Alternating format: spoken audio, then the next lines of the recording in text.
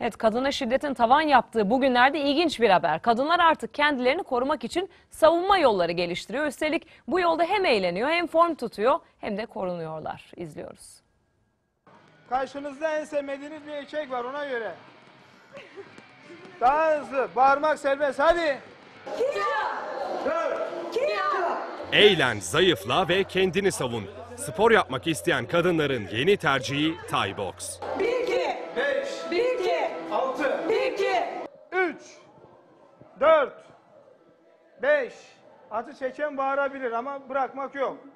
Kadınların Thai Box'u tercih etmesinin temel nedenlerinden biri de şiddete karşı savunmayı öğrenmek.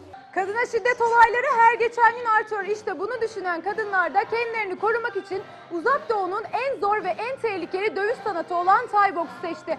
İşte biz de şimdi onlarla birlikte antrenmanlara başlıyoruz.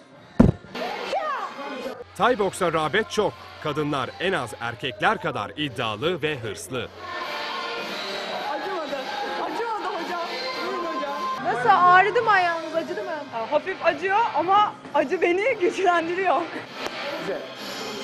Burası rakibin çenesi. Kadınlar erkeklerin kontrolsüz güçlerini kontrol etmek için bu dövüş sanatını uygulayabilirler.